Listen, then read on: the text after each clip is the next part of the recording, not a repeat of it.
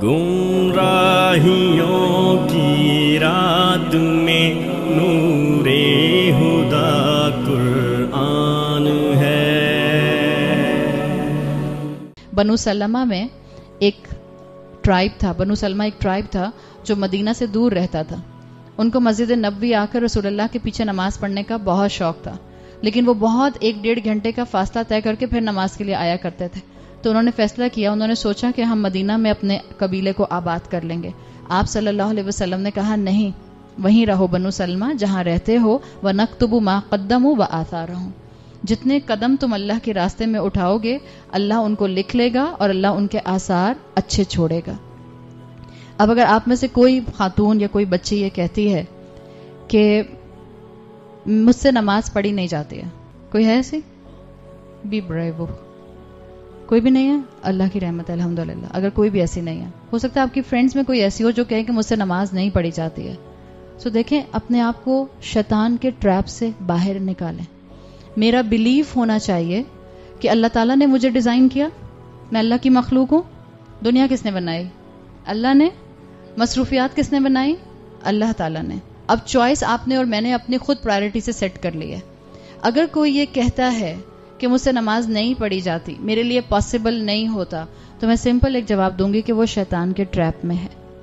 अल्लाह ने by default ये ज़िंदगी ऐसी बनाई है, ये दुनिया ऐसी बनाई है कि इसमें इंसान अल्लाह की फर्मा बरदारी कर सकता है। अगर बाय डिफ़ॉल्ट दुनिया ऐसी ना होती तो फिर मेरा और आपका क्या इम्तिहान होता? अल्लाह ने तो दुनिया ही ऐसी बनाई है कि जहाँ रह के इंसान इबादत कर ही नहीं सकते। ये तमाम सहाबा, ये तमाम ताबीन ये तमाम मुहदसिन ये तमाम खुलफा जिनका अभी हमने ज़िक्र किया, जो जवानी में इबादत किया करते थे, क्या वो प्लानट अर्थ पे नहीं रहते थे? प्लानट मार्स पे रहते थे? यहीं रहते थे। तो अपने जहन से इस पॉइंट को खुरच के निकाल दें कि आपसे नमाज़ नहीं पढ़ी जाती, या मैं डिज़ाइन ही नहीं हुई नमाज़ पढ़ने के लिए। ये सिर्फ़ और सिर्फ़ शैतान की फैलेसी है। ये शैतान का ट्रैप है। अपने आप को हिम्मत दिलाइए कि आप यूनिवर्सिटी में हो आप स्कूल में हो, आप लाइब्रेरी में हो, आप में नमाज़ पढ़ने हम नमाज़ क्यों नहीं पढ़ते? ज़्यादातर यंग बच्चे नमाज़ क्यों नहीं पढ़ पाते? इसलिए कि फ्रेंड्स नमाज़ नहीं पढ़ रहे होते। कोई भी नमाज़ नहीं पढ़ा, मैं कैसे पढ़ूं? सब मुझे मौलवी कहेंगे। सिर्फ़ ये मसला है। ये मत कहिए, मैं नमाज़ पढ़ नहीं सकती। आप पढ़ सकते हैं। शैतान का हमला है आपके ऊपर। पीयर प्रेशर है आपके ऊपर। तो फिर हम क्यामत के दिन अल्लाह ताला को क्या जवाब देंगे? मैं ये सिंपल बात समझती हूँ कि अगर कोई ये कहता है कि मैं नमाज़ नहीं पढ़ सकती, उसका अल्लाह पर ईमान सिर्फ़ कमज़ोर है। आप हर जगह नमाज़ पढ़ सकती हैं। आज से अपने अंदर वादा कीजिए कि मैं पाँच वक्त की नमाज़ कभी नहीं छोड़ूँगी। यूनिवर्सिटी में हूँ वर्क प्लेस पर हूँ, अपने किसी करियर की कंप्लीशन पर हूँ, मैं कहीं एयरपोर्ट पर हूँ, मैं वेकेशन पर हूँ। आप वेकेशन पर नमाजें जमा कर सकते हैं बट छोड़ नहीं सकते हैं। अब नमाजें जमा करने का यह मतलब नहीं कि एक दिन की नमाजें एक साथ पढ़ ली। नमाजें जमा करने का मतलब क्या है? फजर की फजर के टाइम पर जोहर असर मिला ली जाएगी और मगरब इशा मिला ली जाएगी। ये तरीका कार होगा। लेकिन आज से वादा कीजिए अपने आप से, मुझसे नहीं, अपने आप से और अपने रब से कि हम कभी कोई नमाज़ नहीं छोड़ेंगे। चाहे यूनिवर्सिटी में दो पीरियड्स के दरमियान का गैप हो, मैं अपने फ़र्ज़ पढ़ के आऊँगी। नमाज़ का टाइम जा रहा होगा तो मैं नमाज़ नहीं छोड़ूँगी। क्या पता आपको नमाज़ पढ़ते देखकर, किसी दूसरे स्टूडेंट को, किसी टीचर को, किसी प्रोफेसर को ख्याल आए, जब ये बच्ची नमाज़ पढ़ सकती है तो मैं क्यों नहीं पढ़ सकता? मैं क्यों नहीं पढ़ सकती? Be a role model of इस्लाम और अगर आपको रोल मॉडल नहीं भी बनना, ज़ाहिर बात है आप और मैं रोल मॉडल बनने के लिए दिन पर अमल नहीं करते। आप और मैं तो अपनी आखिरत संवारने के लिए दीन पर अमल करते हैं। अल्लाह ताला आपको खुद ब खुद रोल मॉडल बना देगा। अगर आपको कोई भी नहीं देखता तो जिसके लिए पढ़ रही है वो देख रहे दैट्स इनफ काफ़ी है मेरे लिए। अल्लाह से दुआ करें, अल्लाह से मदद मांगें कि अल्लाह मैं आज के बाद कभी भी अपनी फ़र्ज़ नमाज़ ना छोड़ूं।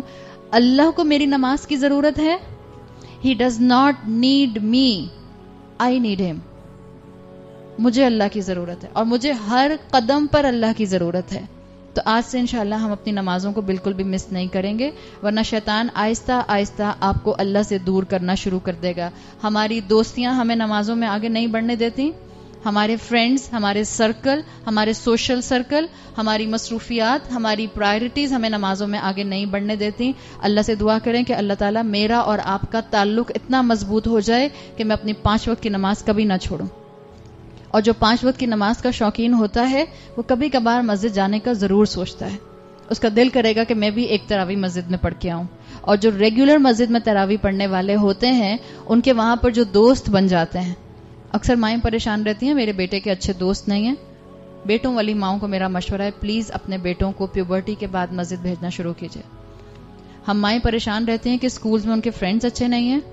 हम माएँ परेशान रहती हैं, उनकी अच्छी कंपनी नहीं है। जब बच्चा आपका मस्जिद जाएगा, उसको अच्छी कंपनी अपने उम्र के बराबर की ज़रूर मिलेगी। भेजिए उनको मस्जिद में। और जब मस्जिद में इंसान जाता है, अल्हम्दुलिल्लाह, आप में से यहाँ कितने लोग हैं जिनको मैं, कुछ को मैं जानती हूँ, अल्हम्दुलिल्लाह, कुछ को बस मेरी सलाम दुआ की हद तक मुलाकात होती है।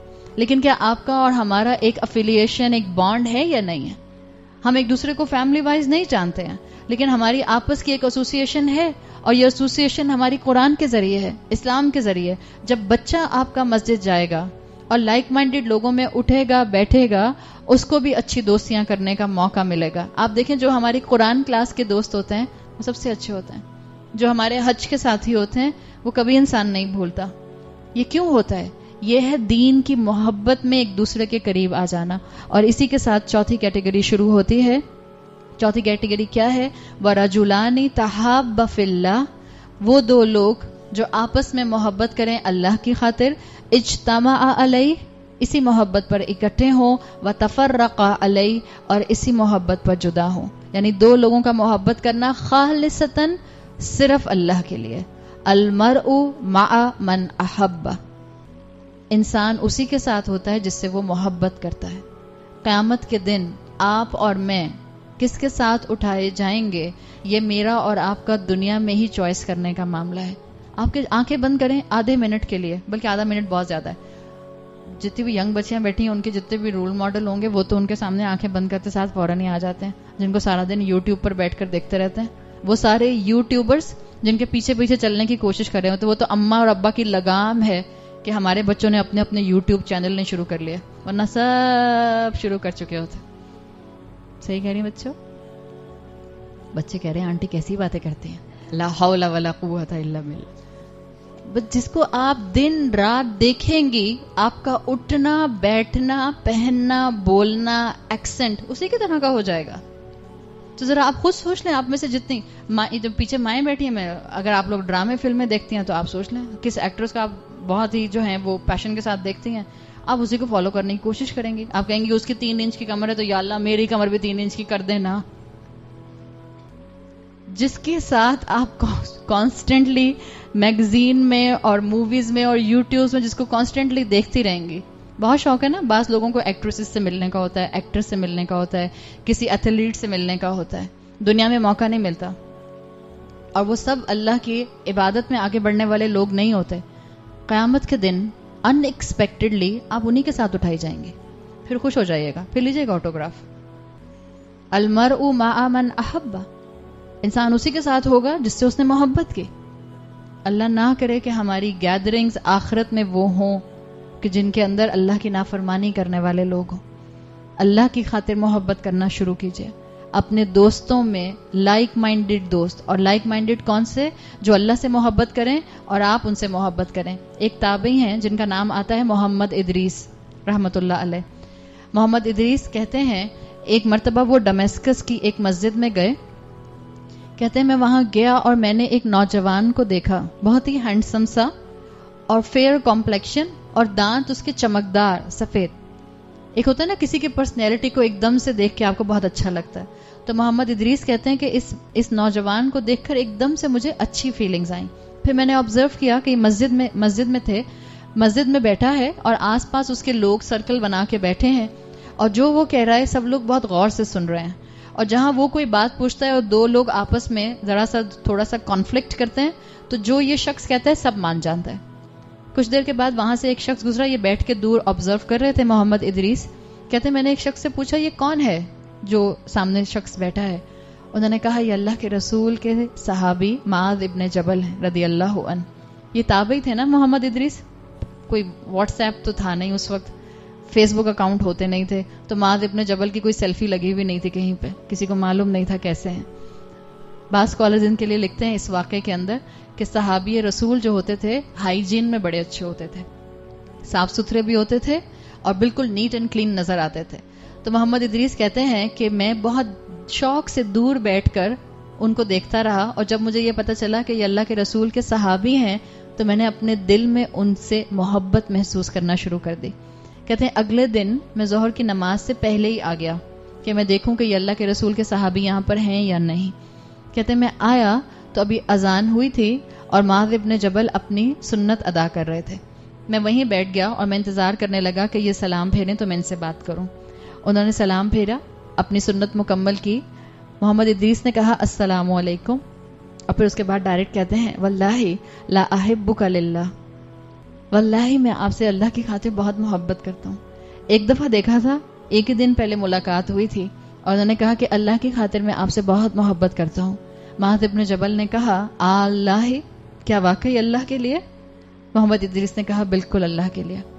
फिर माज बिन जबल ने पूछा आ अल्लाह, क्या अल्लाह के लिए? और माज इब्न जबल ने तीन मरतबा यही चीज़ पूछी। उन्होंने तीनों मरतबा कहा, बिल्कुल अल्लाह के लिए। उसके बाद माज बिन जबल ने कहा, इन्नी समई तो रसूल यकूल। मैंने रसूल अल्लाह सल्लल्लाहु अलैहि वसल्लम को कहते हुए सुना है। वो क्या कहते हैं? काल्लाह तबारक वजबत मोहब्बती लिल मुतहाबी नफी मेरी मोहब्बत उनके लिए गारंटी है जो एक दूसरे से मेरी वजह से मोहब्बत करते हैं। वल फिल मुतजालिसीना, जो मेरी मोहब्बत में इकट्ठे बैठते हैं। वल मुतजाविरीना, जो मेरी मोहब्बत में एक दूसरे को विज़िट करते हैं। और जो मेरी मोहब्बत में स्पेंड करते हैं, और मेरी मोहब्बत ऐसे लोगों के लिए गारंटी है। इमाम मालिक के अंदर ही सही हदीस आती है। तो अल्लाह की खातिर एक दूसरे से मोहब्बत करना एक साइन है कि अल्लाह आपसे मोहब्बत करता है।